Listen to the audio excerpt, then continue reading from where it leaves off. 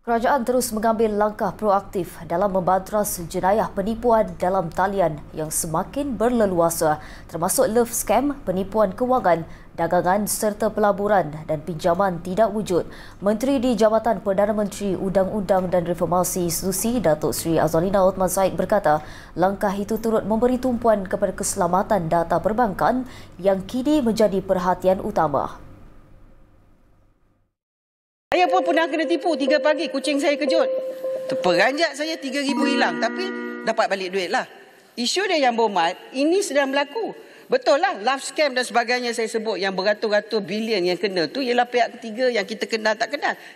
Beliau turut menyentuh tentang keperluan untuk mewujudkan sistem insurans yang lebih ketat bagi industri perbankan atau mana-mana entiti yang memegang wang pengguna sebagai langkah perlindungan tambahan.